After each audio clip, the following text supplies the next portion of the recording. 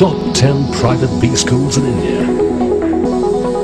Our focus is on cutting edge domain knowledge and benchmarking with world class businesses. Big Tech, excellence with values. वजह ये है कि अगर किसी को मातृभाषा को अगर आप दमन की तरफ़ से राजनीतिक तरफ़ से षड्यंत्र की तरफ़ से आप ज़बरदस्ती दबाने की कोशिश करते हो अपनी मातृभाषा को कौन स्वयं सहन कर सकता है? आप खुद ही बोलिए कौन सहन कर सकता है? जबकि हमारी भाषा उन्नीस सौ इकसठ साल में पश्चिम बंगाल की सरकार के विधानसभा में पास होकर के वहाँ की दूसरे राज्य भाषा सभा में पास हुआ पारित हुआ सरकारी भाषा के मान्यता पे। उन्नीस सौ बानवे साल में भारत के आठवां अनुसूची में हमारी भाषा को मान्यता मिला है। जबकि हमारी वहाँ पर हमारी भाषा को पढ़ने की इजाज़त मिलने से ज़बरदस्ती कोई भी भाषा थोप नहीं सकते।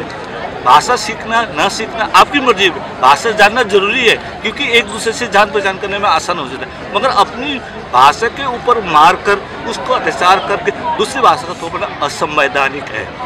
इसीलिए इस विरोध में हम जितने भी भारतीय गोरखा है, जितने भी भारतीय गोरखा हैं, सभी राज्य से यहाँ पर दिल्ली में आए हुए हैं, सभी क्षेत्र से आए हुए हैं, उसका विरोध करें कि भाषा का अतिक्रमण, बंगाल सरकार का कोई भी डुअस डुअस का मतलब है जलपाईगुड़ी जिला, अलीपुर जिला, दार्जिलिंग जिला और अभी नया जो गठित हुआ है राज्य जिला, कालिम्पोंग जिला की प्रतिवाद करते हैं हम इसको। घोर प्रतिवाद बंगाल सरकार की इस षडयंत्र और गोरखालैंड को लेकर आपकी क्या सोचना? है वो हमारी पहचान की हमारे भारत में पहचान की एक चिनार की राज्य की मांग जो सौ साल पुरानी मांग है।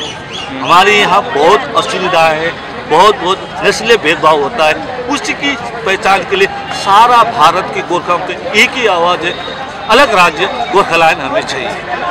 अच्छा और जिस जिस हिसाब से अभी वहाँ पे परिस्थितियाँ हैं बहुत ख़राब चल रही हैं टूरिज़्म ख़त्म हो चुका है आपको नहीं लगता कि ये इसको थोड़ा सा शांत करना चाहिए? ये तो गलत बात है कि टूरिज़्म फैलाने की आ, जो अफवाहें उठ रही है कि टूरिज़्म खत्म हो गया टूरिज़्म की विकास हो रहा है वहाँ पर। अभी जो फ़िलहाल में 12 घंटे के बंद हुआ था जिस तरह से हमारे लोगों ने स्कूल से गाड़ी लाकर जितने भी पर्यटक थे वहाँ पर जितने भी टूरिस्ट थे उनको अपनी अपनी जगह में पहुँचाने की जो मेहनत किया है जो हाँ, मेहनत और सहानुभूति दिखाए। वो सबसे बड़ी ज्वलन है कि गोरखा जातियों में ईमानदारी और स्वाभिमान भी अभी भी बचा हुआ है और सदा रहेगा भारत की हर जनता को सेवा के लिए। इसमें कोई आ, दो राय नहीं है कि वहाँ पर पर्यटन खराब हुआ है पर्यटन और भी सुरक्षित और पर्यटन अभी बढ़ रही है वहाँ पर। Thank you